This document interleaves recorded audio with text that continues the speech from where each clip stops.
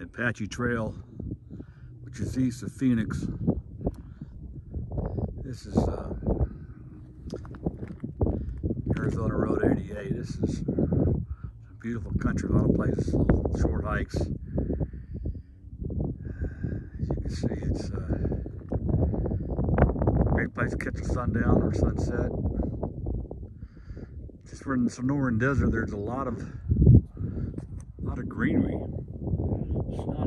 towards Mojave. Of course, that, that, that, oh, um, it's warmer, and the uh, temperatures are warmer here too, at least this time of year.